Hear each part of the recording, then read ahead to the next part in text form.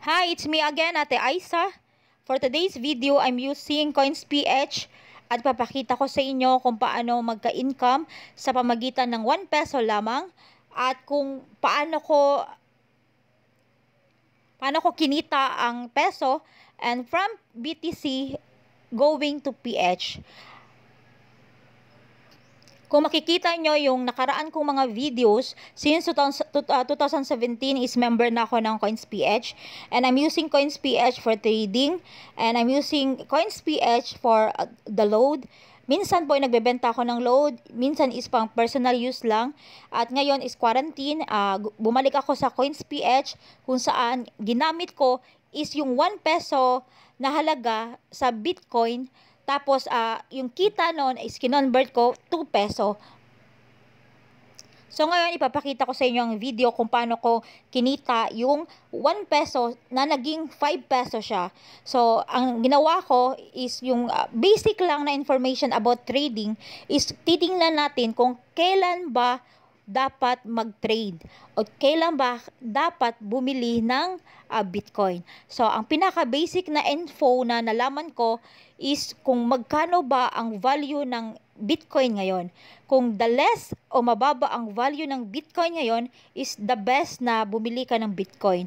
Example, yung uh, kung ang value ng Bitcoin ngayon is 200 pesos, so yun ang the best na bibili ka or papasok ka ng pera going to Bitcoin or BTC na account mo.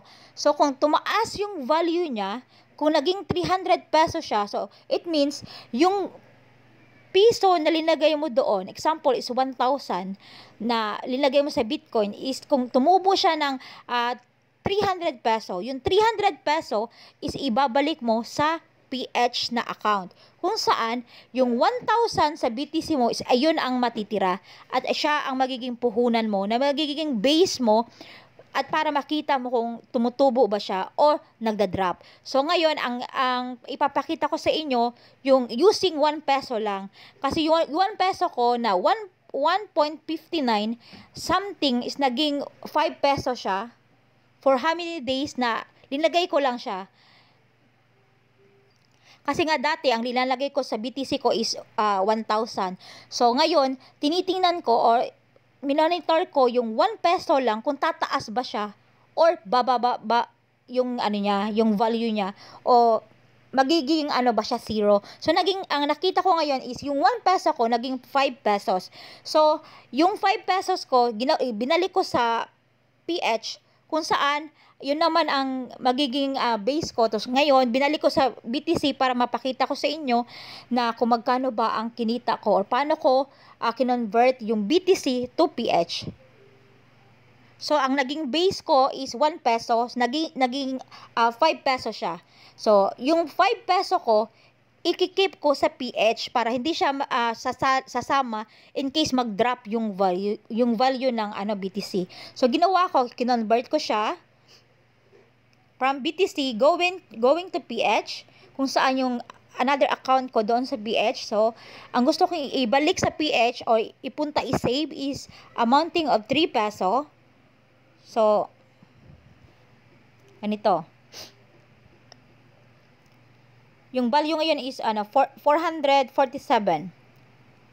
So, ang papasok sa akin is 2.9. Yon. 2.9 yung uh, pumasok, yung, yung naging value, pero ang pumasok is 3 peso. Ganun po siya. So, ang natira po sa, uh, sa BTC ko is 2 peso 0.46. Kung saan, itong 2, uh, 2 peso 0.46 magiging base ko para another puhunan para sa pagtitrade. So, kung yung 2 peso ko is naging 3 peso, 3 something, is yung 1 peso something is ililipat ko ulit sa PH. Yun lamang po, at dito po sa pamagitan ng 1 peso lang sa pagtitrade is tataas po yung value ng piso nyo.